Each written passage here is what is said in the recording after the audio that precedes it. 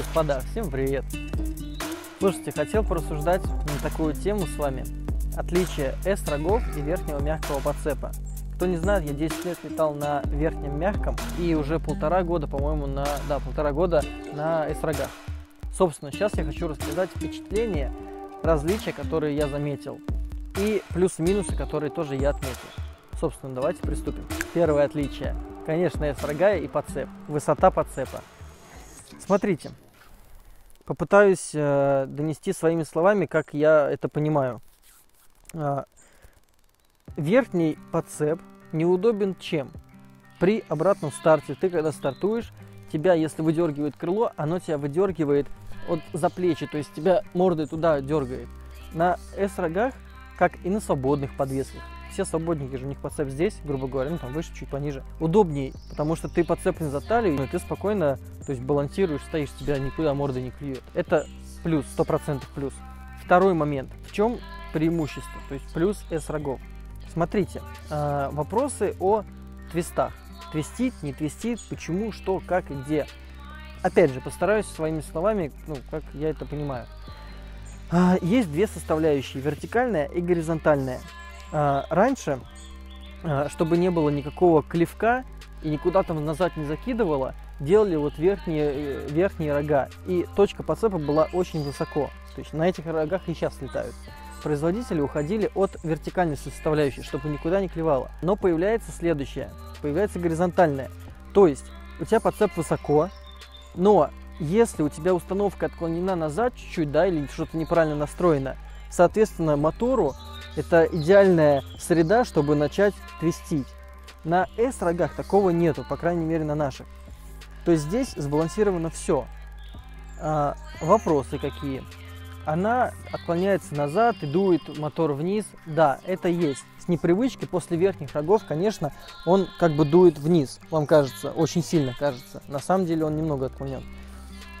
Но даже при этом, что он отклонен, вас все равно не твистит. А вертикальная составляющая мы ловили, то есть высоту крепления рогов. И максимально все сбалансировано, даже если она наклоняется назад. У вас не твистит, и крутящий момент у вас никак не реагирует, потому что выгнут рог. Вот, собственно, и все. Дальше. Теперь я же говорил, что про ощущения буду говорить. Собственно, говорю. Когда ты летишь на S-рогах, у тебя это очень сложно объяснить, но ты сидишь, у тебя подцеп, соответственно, ниже, и все ряды, все клеванты, триммера, все ниже. То есть тебе не надо никуда тянуться. Если клеванта куда-то улетела, не надо до нее тянуться. Все низко, все удобно. И еще один плюс, я не могу это никак передать словами, но тебе намного удобнее крутить. То есть ты крутишь, например, винговер, и у тебя крыло не где-то вот там вот, вот, вот так вот за тобой, и ты головой там не видишь его. А оно как бы вот, вот здесь, оно перед тобой. То есть я, я не могу, я не знаю, я не знаю, кто-то может, если объяснить, объяснить. Я не могу объяснить. Я просто хочу сказать, что это намного удобнее. То есть крыло как будто ниже к тебе, и тебе не надо где-то там его ловить. То есть а, надеюсь, поняли. В общем, крутить намного удобнее. Свободники, как вот свободные подвески крутят они, они сидят, у них крыло как бы вот перед, перед тобой оно. Вот здесь вот вот. А на верхнем мягком оно как бы, оно качается где-то там вот сверху. То есть, ну, это такой вот, ну, это очень заметно после верхнего мягкого подцепа. Очень заметно. Это тоже плюс. Верхнего подцепа минус. Дальше. Так как я любитель слалома, опять же, на S-рогах что удобнее? У меня сделана система Матеуса, то есть ушная через блочок. Я руку отодвигаю, у меня работает ушная. Чем это здесь удобней? Подцеп здесь, то есть он где-то, ну, где-то, где-то, где-то вот здесь, то, да?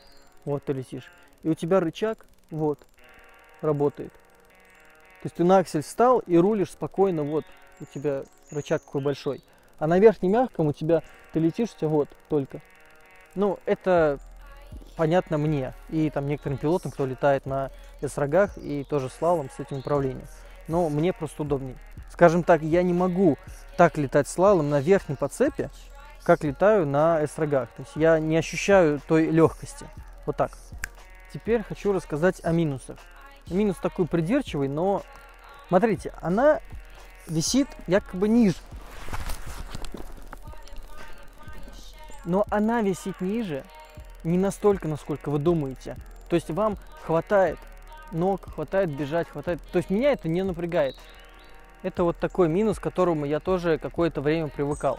Но сейчас свободно ты и чертишь, и садишься там в свупе в таком. И в свупе, в свупе в таком садишься, то есть нормально.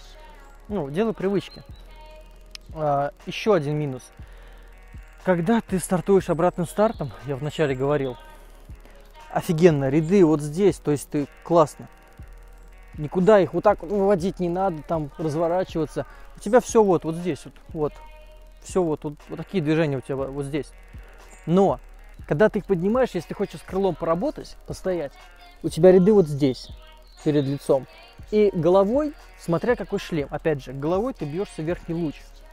Именно на старте. Меня не напрягает это, потому что я поднимаю и смотрю как бы на бок, сбоку. Так и так. То есть я все вижу крыло, мне достаточно оценить, что с ним. То есть мне обзора хватает. Но те, кто пробовали, сразу говорят, что шлемом бьешься. Но не надо использовать шлем с такой грибой сзади, как свободный. То есть, ну, э, это неудобно. Друзья, вот что я понял за полтора года полета на S-рогах. Однозначно это удобней. Однозначно я уже ни при каких условиях не хочу переходить на верхний мягкий подцеп, тем более на верхние рога. Ну, это кошмар. Ну, это я так думаю. Кто-то, кому-то может быть удобно, кому-то нет. Но если посмотреть на мировых пилотов, все летают в основном на либо на S-рогах, либо на прямых нижних рогах. Но подцеп всегда нижний. То есть это больше информативности. По-другому, можно сказать, летит крыло. Ты получаешь более понятное ощущение от крыла, и ты начинаешь с этим по-другому работать.